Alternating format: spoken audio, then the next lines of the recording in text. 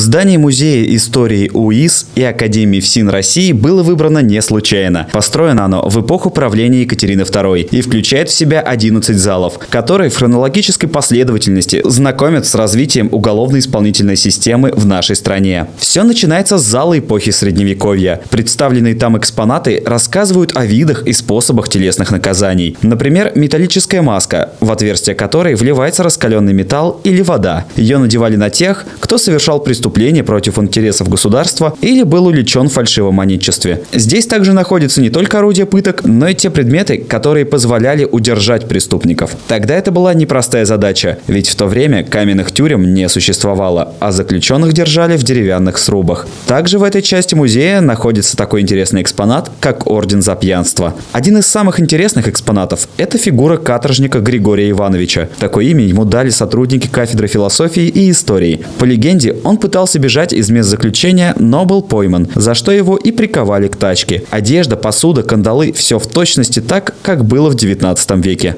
В зале, который посвящен дореволюционному периоду, расположен самый старинный экспонат музея – драгунская шашка 1904 года. Орудие имеет свою историю, потому что находилось на вооружении сотрудников мест лишения свободы того времени. В следующем зале можно увидеть, как выглядело рабочее место начальника исправительно-трудовой колонии 60-х годов 19 века, а также познакомиться с запрещенными предметами, изъятыми у осужденных. Здесь экспонируются игральные карты, заточки и даже самодельный кипятильник, который называется просто «бр» из-за звука, который издает. В этом же зале находится макет исправительной трудовой колонии того времени, который демонстрирует внутреннюю планировку учреждения и многоуровневую систему защиты. Активное участие в пополнении экспозиции музея принимают представители Оренбургской области. Благодаря их трудам на полках многих залов находится так много много экспонатов. Так совсем недавно приехали на сдачу государственных экзаменов э, Павел Геннадьевич Сдвижков и Юрий Петрович Коробов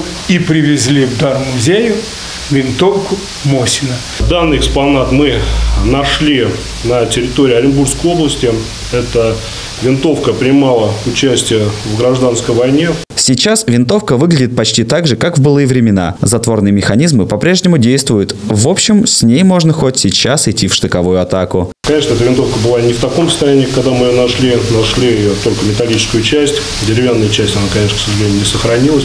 Но, тем не менее, что э, мы нашли, заклинивший затвор был. Сейчас мы видим, работает винтовка стреляет. Данная винтовка, она царская, то есть это было выпущено еще до, далеко до революции. Э, очень приятно передать в дар эту винтовку. И я надеюсь, что для патриотического воспитания курсантов это будет хороший, хорошим примером. Конечно, это лишь малая часть того, что представлено в музее. В настоящее время его коллекция насчитывает свыше 700 экспонатов, и она постоянно пополняется. Но, как говорится, лучше один раз увидеть, чем сто раз услышать.